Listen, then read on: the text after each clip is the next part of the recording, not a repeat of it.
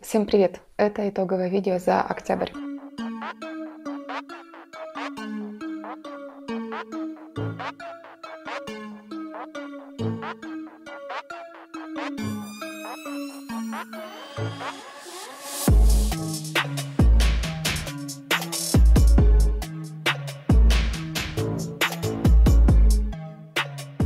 В этом ролике я поговорю про мои октябрьские съемки.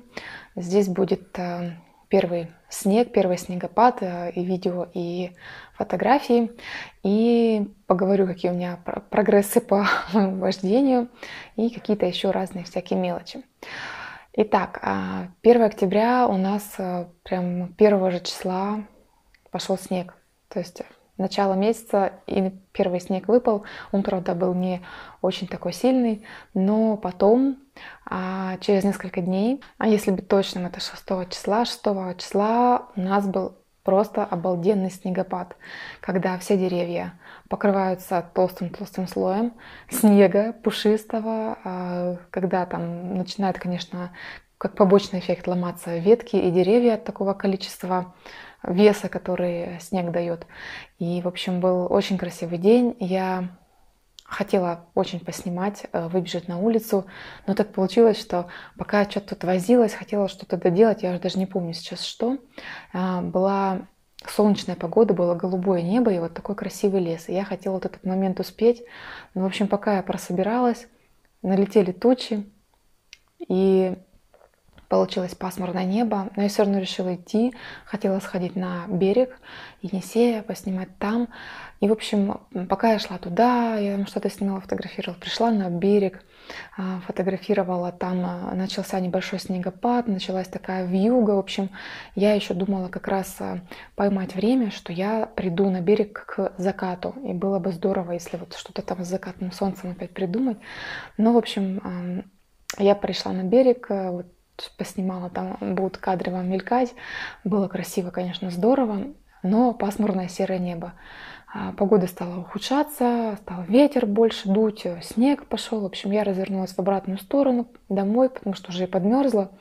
И возвращаясь через сосновый значит, лес, уже близко к дому, стало небо очищаться, появилось даже солнышко, появилось голубое небо, и, в общем, я поняла, что вот как раз вот в этот момент, вот там на берегу красивый закат с чистым небом и с красивым солнцем, но уже возвращаться не стала, потому что долго слишком прогуляла и, в общем-то, замерзла. Я думаю, даже я бы даже не успела, конечно, пока добежать туда-обратно. Но, тем не менее, кадры получились красивые, здорово. Я всегда люблю вот такой первый снегопадище, ну даже не первое, когда вот именно все белым-бело, большие сугробы, но все такое чистое, прекрасное, красивое, в общем, очень-очень здорово. Надеюсь, а, кадры вам тоже передадут эту красоту и великолепие, несмотря на то, что не было голубого неба и солнца. Но до того, как был снегопад, была теплая погода, было прекрасно, и мы а, встретились с моей подругой, с Юлей. Мы с ней знакомы давно, а, это такая, знаете, как сказать, долгая история, да. По-моему, это был 10 класс. А, нас несколько человек учились заочно в педуниверситете на каких-то там вот курсах перед поступлением вроде как, да. Я хотя туда не планировала, но почему-то у нас а, так вот много кто в классе там на какой-то вот такой заочке учился, как подготовка к поступлению. Я училась на математике. И а, была, была летняя школа. Мы были в лагере где-то в районе Емельянова. Я сейчас не помню, как это называлось место. В общем, там был лагерь. И вот это была летняя школа от пединститута. И вот там мы с Юлей познакомились. Она была тоже на нашем же курсе. В общем, есть что вспомнить. Такое было классное лето. Но, в общем, не об этом. Так вот, получается, мы с ней знакомы вот так вот очень-очень давно. Потом мы переписывались писали друг другу письма, потом, когда я уже приехала сюда в институт, мы как-то встречались, но встречались мы с ней очень редко, и последняя наша была встреча, мы тут с ней пытались вспомнить, э, вот так вот вживую мы виделись до того, как у нас еще родились дети, то есть, получается, э, Еве будет уже Еве 11, то есть больше 12 лет назад мы с ней виделись последний раз. Я даже не помнила, когда она говорит, я к тебе приезжала, но я уже не помню. Ну, в общем, ладно, большая предыстория. Так вот, мы с ней после такого большого промежутка впервые наконец-то встретились. Она приехала со своим старшим сыном, я а, с Евой, мы пошли гулять в лес. Хотели пофотографироваться именно в осеннем лесу. А, получилась здоровская прогулка, дети подружились там вообще в миг, э, дурили там всяко радно. Мы замечательно погуляли, несмотря на опять на то, что тоже была такая довольно пасмурная погода. И лес вроде бы не очень-то золотой, но пофотографировали друг друга. Юля тоже фотограф, а, так что мы, вооружившись, в общем, камерами, щелкали друг дружку. Очень здорово погуляли. А, ребятишки тоже подурили, у нас получились клевые кадры с зонтом, а, когда мы насобирали туда кучу листьев, причем листья нельзя было собрать с земли, потому что они были сырые, и, в общем-то, они, ну, вот честно, я в прошлом видео говорила, листья в этом году отвратные, некрасивые совершенно. Поэтому мы как-то шли-шли и увидели куст калины. В общем, мы этот весь куст калины ободрали в этот зонт а, и устраивали, значит, э, дождь, дождь из зонта э, с помощью листьев. Очень смешно. И, и Юлю я поснимала, и, она, и, и, короче, меня, меня Ева, по-моему, снимала. И, и Юля, по-моему, короче, я уже запутала. В общем, мы там всяко-всяко снимали друг другу, друг друга. И я, как всегда, люблю ставить дурацкие кадры, потому что они прикольные и смешные, и настоящие. В общем, классно. Так, что у меня еще дальше по списку? Я подготовилась и, наверное, да, буду в перемешку, почему-то у меня не получается по порядку разговаривать. А, октябрь был месяц, это вот я вам говорила еще в, прошлом видео, когда ко мне приехала моя, мой цефали, мой аппарат. А, я буду делать отдельное видео. А, вкратце хочу сказать, что за октябрь, когда я стала его при, применять, в принципе, я бы сказала, а, я подсчитывала, в целом у меня на два приступа меньше было за э, пять недель. И два, э, на две таблетки меньше именно суматриптана я пила. Что, в общем-то, я считаю хорошо, но будем смотреть динамику дальше, потому что он может показать не сильно а, сразу эффект. Ну, в общем, а, подробнее я вот сделаю себе прям по пунктам распишу все и как. И следующее, наверное, видео, которое я планирую записывать, это будет именно по мигрени и, в общем, все, чего я знаю, все, чего я делаю. Так что, да. Потом у меня была одна покупка, не, не вязальная, да, тоже касается фотографии. Я купила фотофонарь. Это фотофонарь Lumos. Э, оставлю их инстаграм. Выбрала его, потому что когда еще проходила я обучение, все, тогда я подписалась на многих девочек а, фотографов. И там была девочка Саша Субботина, она а, тоже раньше была куратором на курсе у Дениса, но в этом, в этом сезоне ее нет. В общем, она сама теперь по себе. А, тоже там что-то преподает, и все. И вот она а, делала фотографии и показывала, вот, что у нее вот такой м, фонарь. Я так поняла, это делают все-таки какие-то ее друзья. Это такое, знаете, штучное производство. То есть они делают там 80 штук, делают пост, что вот у нас такие-то есть фонари, и их раскупают. Я дождалась, когда а, будет очередной у них такой пост, и купила. Почему выбрала а, этот вариант? Понравилось, как Саша его описывает. Э, в общем, что он довольно-таки функциональный, он маленький, он не тяжелый, потому что другие многие фонари, которые, в частности, допустим, там в фотомагазине, если смотреть, во-первых, у них цена а, больше на 5-10 тысяч, и а, они довольно тяжелые, то есть там полный металл, и, ну, как, там девочки выражались, фотографы, его можно носить как а, с собой, как не знаю, как оружие, как защиту, короче, то есть ну, долбанешь по голове, мало не покажется. Вот, идет, значит, он в комплекте фонарь и с вот такой прищепкой, которая с головкой крутящейся, и, соответственно, ты можешь куда-то прицепить фонарь, вот так прикрутить, и используется как для фотосъемки, для красивых кадров, пока еще своего ничего показать не могу, я, к сожалению, я так и не взялась что-нибудь сфотографировать, но его вы могли видеть в прошлом а, видео с итогами октября, потому что там он сзади меня подсвечивал. Это фонарик на 3000 кельвинов, он тепленький. Как, я не знаю, будет показать. У него, видите, регулируется пучок большой или узкий. И у него регулируется еще насыщенность. Он может совсем еле-еле светить. Вот так еле-еле или на полную катушку. В общем, очень классно. Внутри батарейки, которые заряжаются аккумулятор. Вот, так что такая штука. Надо будет э, в ближайшее время как-то потестировать. В общем, посмотрим, что будет. Но с ним получаются очень такие классные кадры. Что у меня по вождению, что у меня с вождением? А в октябре тоже у меня так хорошо я водила. Я не скажу, что каждый день у меня а, получается это, но периодически куда-то, если куда-то надо ехать, то, как правило, сажусь за руля. А у меня был один день, когда я была за рулем 3,5 часа. Мы катали по городу то в одно место, то в другое. Я проехала по, по мосту, я проезжала через кольцо. В общем, такие, знаете, а, очень напряженные всякие моменты. Перестраивалась, там было место, когда, в общем, надо перестраиваться несколько полос при очень интенсивном движении. А, впечатлений масса. И приезжаешь вечно э, так выдыхаешь уже дома. Ну, короче, пока мне все нравится, несмотря на какие-то мои косяки, и когда а, муж на меня что-нибудь прикрикивает, когда я ну, реально могу протупить просто на дороге. А, вот, так что потихонечку учусь. А, была у меня потом еще, а, значит, это, ну, мы ездили еще, как бы было тепло, а потом был снег. Вот уже после того, как выпал снег, этот снегопад после 6 октября, а, муж мне решил устроить такое приключение, как поездку за город. А, мы решили проехаться а, кольцом, значит, это получается, если я сейчас не ошибаюсь, как-то в сторону... Нет, слушайте, не буду врать. Ну, короче говоря, мы, значит, решили выехать кольцом, так чтобы в итоге вернуться к Дивногорску, к, ГЭС, и потом вернуться в город.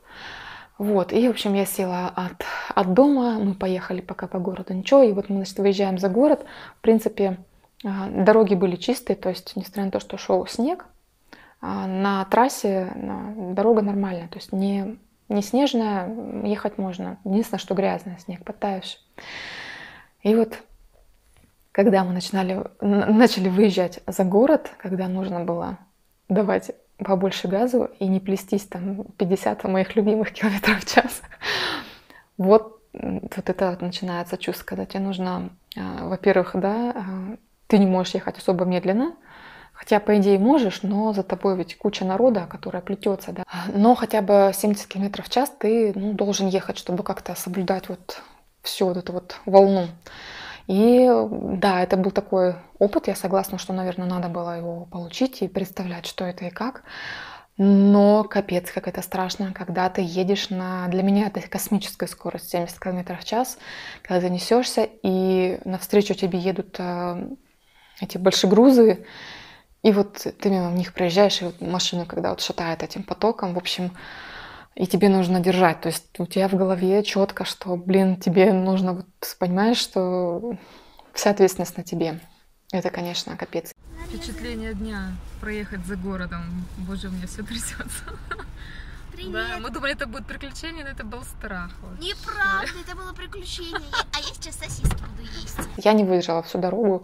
Я проехала, наверное, не знаю, от дома и вот до, до какой-то там, до какого-то места на трассе, максимум, наверное, не знаю, полчаса, 40 минут я вела. И все, я поняла, что все, я не могу, это как бы мы потом с мужем поменялись, оставшуюся часть ехал он. Ну и дальше, надо сказать, конечно, уже пошла дорога с, со снегом, э, даже с гололедом, поэтому я даже рада, что мы с ним так поменялись. Но вот такой вот опыт а, у меня появился. А, да, прокатились, было очень красиво, когда уже выехали за город, был заснеженный лес, а, прекрасная дорога, вот мы там, мы хотели а, вернуться, как бы, я хотела поснимать около ГЭС, но на, а, около ГЭС, когда мы подъехали, там просто шел дождь, то есть там снега нет, там шел дождь, там теплее, и, а вот нигде так на трассе мы не остановились. Только из окна я снимала, поэтому вот могу показать только вот такое в дороге движение, какой красивый лес. И давайте про снег закончим, да, то, что связано со снегом. В общем, как я говорила, 6 октября выпал снег, 5 октября, за день до этого, у меня была съемка. А, мы фотографировали на острове Татышев с девочкой, значит, с дочкой со своей. У нас была осенняя съемка. И вот какой контраст вы можете судить по фото, то есть буквально э, там ночью уже начался снег, а днем мы еще фотографировали вот такие кадры. Мы встретились а, на острове, она говорила, что я, говорит, видела красивое желтое дерево, когда здесь гуляла на выходных, так что пойдемте его искать. Вот, и, в общем, мы шли-шли, долго шли, те, кто э, в Красноярске, в общем, мы прошли место за яблонями, ушли фактически на середину острова, наверное, и там стоял большой тополь, у которого как раз ветки свисали до земли. Он был желтый, он был прекрасный. Вот, в общем, около этого тополя мы крутились так и сяк. Я попыталась снять небольшой таймлапс, э, как я заработаю, но там такое слишком все мелькающее, все равно вам покажу. Тоже была малышка небольшого возраста, да, она была маленькая. А, те же э, капризы, тоже попытки поймать ее в кадр. Было непросто, ребенок тоже очень сильно отвлекался, но тем не менее, я считаю, что у нас съемка прошла удачно, здорово, получились э, такие бодренькие кадры. Такой был интересный у меня момент, когда один день ты снимаешь еще осень, а на следующий день ты снимаешь уже зиму. В октябре я еще взялась в небольшую движуху, которую увидела у девочек-фотографов, на которых подписаны, с которыми на курсе мы вместе были у Дениса. А, значит, эм, была эта движуха у а, Макса Добрый. Максим Добрый, значит, тоже фотограф, молодой человек. И, э, ну, это, знаете, типа вот различных челленджев, там, сделай то, сделай все. Это был челлендж на 5 дней, когда он дает какое-то задание, ты должен что-то вот сфотографировать. Меня, правда, хватило, по-моему, на 2 или на 3 дня. Потом э, нужно было, ну, я покажу фотографии, то есть там одна была а, вид снизу, когда нужно было что-то сфотографировать, то, что было бы а, именно снизу фотографировалось с уровня ног. Это я как раз вот э, отправила то, что я в лесу фотографировала со снегом. Потом а, был свет от холодильника, и это было самое смешное, да, когда нужно было приоткрыть как-то холодильник, чтобы из него свет падал, был только этот свет, и вот что-то сфотографировать. Ну, в общем, вышла Ева с колбасой. И не могу вспомнить третий кадр. В общем, если вспомню, покажу. Нет, так нет. Что-то на меня напало. Ну, в общем, э, было интересно, но мне хватило на три дня. Потом нужно было снять голубей в полете общем, птиц как-то в полете. И в тот день, в общем, то ли мы пошли день рождения праздновать э, к родственникам, то ли еще чего-то. И, в общем, я была без камеры и уже не сфотографировала. Так что на этом дело закончилось. Но, тем не менее, такие всякие штуки интересные. К теме моей головы. В октябре я решила провести такой опыт над собой, который, надо сказать, я не выполнила до конца. В общем, я решила попробовать не есть месяц сладкое плане а, булок, в плане а, конфет, ну, в общем, сладостей. Потому что я все время от, э, в мыслях отхожу к тому времени, когда э, я кормила дочку грудью, и у меня не болела голова вообще. То есть у меня было вот два года, а, пока я вообще не знала, что такое голова болит. Что было причиной, не знаю. В то время я не ела вообще никакого сладкого. Это было под, за, под запретом а, из-за того, что у дочки была реакция аллергическая на то, что я ела. И, в общем, а, вот я сейчас думаю, то есть было это, или это были гормоны, или еще что. Почему у меня в то время не болела голова? И я решила, может быть, вот это была причина. Я решила, ну, попробовать не есть сладкое. Будет ли эффект от э, этого на моей голове? В общем, я продержалась две недели. Надо сказать, что мне, в принципе, в этот раз почему-то очень легко удалось вот отказ от всего этого. Я как-то спокойно относилась, причем это выпало как раз на а, день рождения, а, значит, в семье, и а, я как-то спокойно отказалась от тортиков и всего прочего. И... Но это никаким образом меня не, упас... не спасло от э, приступов мигрени. Поэтому когда я уже сидела и маялась тут с головой а, в попытках прийти в себя, то дочка, в общем, меня почему-то пошла на улицу, говорит, мама, я куплю тебе антиголовоболин. Вот, и пришла ко мне с шоколадкой. Ну, я, в общем, плюнула на все, съела эту шоколадку. Конечно, мне не помогла, потому что все равно пришлось пить таблетки, но тем не менее. Вот, такой вот был провальный опыт. То есть вроде как оно, э, этот отказ никак не сказался на, на появлении мигрени. Так что э, я, да, так слабовольно решила все это закинуть, потому что, ну, для меня действительно отказ от сладкого это а, такой стресс, и чтобы совсем это исчезло, мне вот это прям как-то тяжко. Хотя вот говорю, начало было прям такое замечательное. Я сама себе удивлялась, что меня не тянет сожрать чего-нибудь. Но, в общем, тем не менее, провал. Так, расскажу еще про одну съемочку, которая была а, в октябре. Значит, э, это был тоже проект у нас под ТФП, съемка. Мы с э, Ксенией э, долго согласовывали дату в плане того, что мы хотели поймать погоду. А, и изначально это был запрос на поснимать маму с ребенком. Потом э, я начала спрашивать, что и как, и выяснилось, что там мы можем собрать довольно большую семью, включая бабушку. И я была очень, честно говоря, воодушевлена тем, что я бы смогла, у меня был бы шанс поснимать вот именно вот такую большую семью, большую съемку. Это и опыт, и э, ну, я такого не делала, и учитывая, что это съемка не коммерческая, а ТФП, в принципе, еда, как сказать, есть шанс если налажаешь, ну, ты хоть что-то снимешь, да, но это будет не, не за деньги. Вот, поэтому мне было интересно попробовать. Но то одно, то другое, то там заболели, то, то, то, то пятое, десятое. Ну, в общем, а, в итоге осталась только Ксения а, с братом, значит, и с мамой втроем, но отступать уже не было некуда. В общем, мы а, поехали снимать на правобережную набережную. Я там ни разу не была. А, Ее только видела, когда, если переезжаешь через мост, но вот я там именно ни разу не гуляла. Так что я одновременно и впервые там побывала, и пофотографировала семью. А, место классное, так сказать, обустраивают все. Там у нас сейчас даже в процессе еще обустройства части вот этой набережной и различные там детские э, эти городочки, места, где можно побегать, попрыгать, полазать. Э, и скамеечки красиво сделаны. В общем, я осталась под впечатлением здорово, что таким образом делают благоустройство в городе. И вот мы по этой набережной прогулялись, пофотографировались на фоне Енисея, и там голуби маленько в кадр попали, было очень здорово. В этой съемке у нас был молодой человек, Степан, которому, я так понимаю, в районе 7, 8, 9, и который пришел на съемку вот с таким лицом. Он даже не хотел смотреть ничего, то есть сниматься не буду. Вот, вот такие моменты всегда маленько боишься, что э, ребенок может э, действительно не пойти вообще ни в какой на контакт. И поэтому я всегда стараюсь э, сразу, ну, как бы поздороваться, познакомиться, да. И если я вижу такой настрой, то я сразу говорю, что там, слушай, я тебя вообще не трогаю, я тебя не заставляю вообще на меня смотреть, а, не улыбаться в камеру, не хочешь вообще фотографироваться, не надо. Вот ты как бы делай, что хочешь. Вот что тебе хочется, то делай, и все, ладно, ладно. И вот мы с ним вот таким образом договорились. Он маленько, чувствуя, выдохнул. И мы начали вот эту маленькую прогулку в процессе, и, в принципе, ребенок втянулся. Потом он уже с удовольствием там корчил мне рожи и поворачивался, там, если попросила его повернуться ко мне. Так что э, тоже вот когда понимаешь, что все пойдет окей, маленько так выдыхаешь, и уже как бы работается гораздо спокойнее, потому что как-никак все равно каждую съемку я нервничаю и переживаю, как у нас вообще пойдет взаимодействие.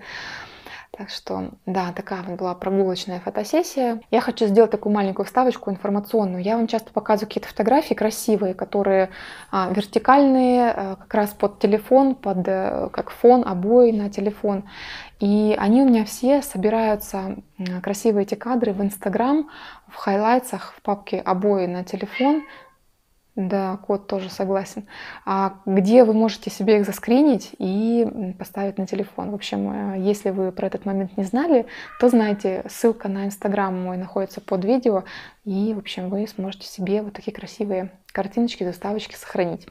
И еще про последнюю съемку в октябре. Это была съемка очередная в садике. Значит, у нас был праздник рыцарей принцесса. Это день, когда э, я снимаю и внутри садика, и мы выходим либо на, рядом на территорию, либо мы едем куда-то для того, чтобы проходить свои испытания. И вот этот день был ознаменован, ознаменован для меня а, тоже испытанием, каким я впервые поехала одна за рулем. Я, в общем, с вечера так готовилась и решала, думаю, ну, наверное, надо мне поехать самой. А, машина стоит около дома, из гаража выгонять не надо. А, я могу утром, значит, подъехать там около садика встать, думаю, что я там могу встать, а, я отснимаю, и потом нужно будет, значит, проехаться а, вниз к Енисею, в Удачный, там есть такая замечательная лестница, которая идет вверх к коттеджам, она мимо сосен, в общем, это такое обычно испытание для детей, вот, значит, подняться по этой лестнице. И для меня это тоже очень большое испытание, потому что мне нужно бежать вперед их вверх по лестнице. Обычно после этого дня у меня ноги просто отказывают. Так вот, а, я решила, что я поеду. Все. Муж сказал, ты уверена? Я сказала, да, я уверена, я смогу. Я знаю, как ехать там, я знаю, наверное, где там встать. В общем, я постараюсь. Вот это было мое испытание в этот день. А, с утра к садику я подъехала, в общем, э, нормально. Там прям, где я думала встать, места не было, но я так мужественно нашла место, где развернуться и, значит, э, встать на площадке там маленько, так, как, э, как сказать, разбитая маленькая дорога, которая выезжает уже за газон фактически, ну, в общем, около Блин горы там. И, значит, я так поднялась, я там вот на травке встала, но там паркуются, поэтому я решила, что окей, я, наверное, ничего противозаконного не сделала, хотя я не уверена. Вот. Снимали в садике, все, замечательные рыцари, замечательные принцессы. Как всегда, я ничего вам показать не могу, простите, пожалуйста, поверьте на слово. Э, я что-то там, э, если... Да, у меня есть э, небольшие кадры, которые так со спины, там, где видно рыцаря, какой к нам приехал рыцарь в итоге.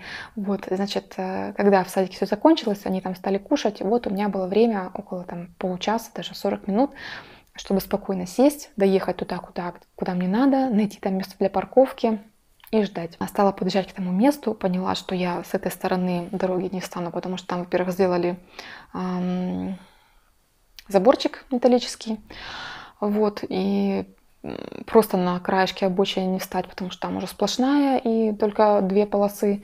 А, я, значит, проехала дальше, нашла место, где развернуться, и увидела, что с другой стороны там как раз прям такая площадочка, где можно парковаться. В общем, запарковалась, все было жутко довольна собой, что я все смогла.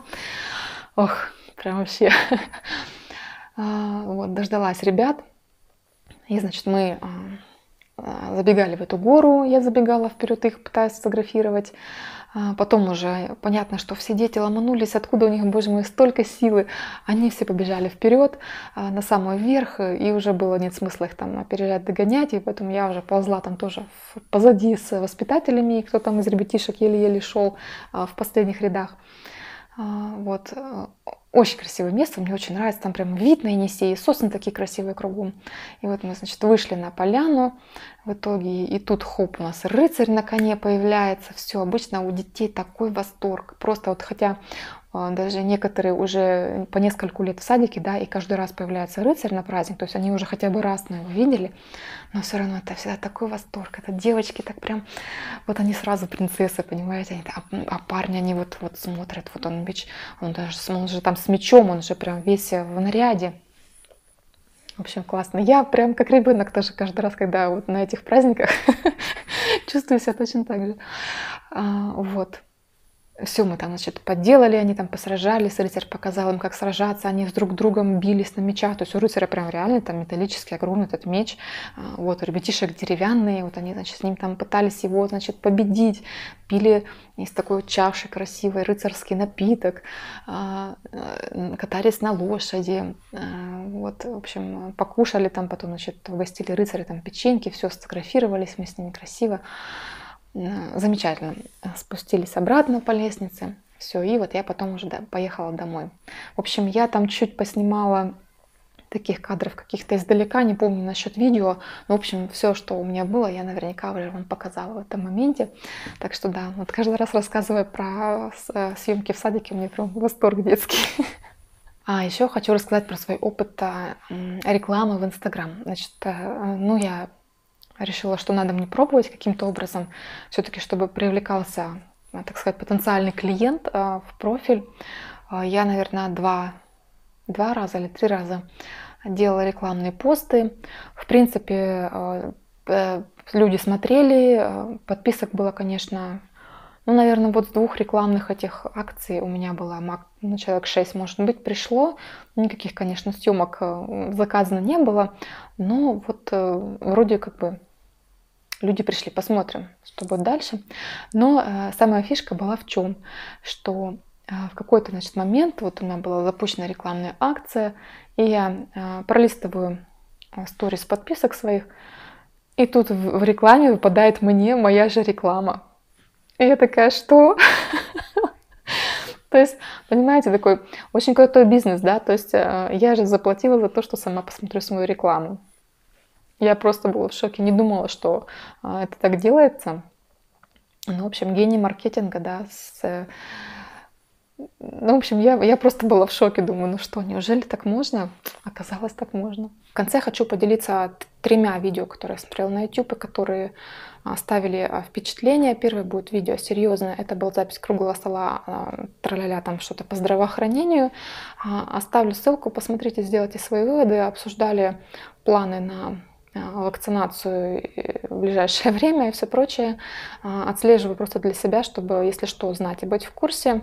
Но, надеюсь, ни о какой принудительной вакцинации у нас речь все-таки не пойдет.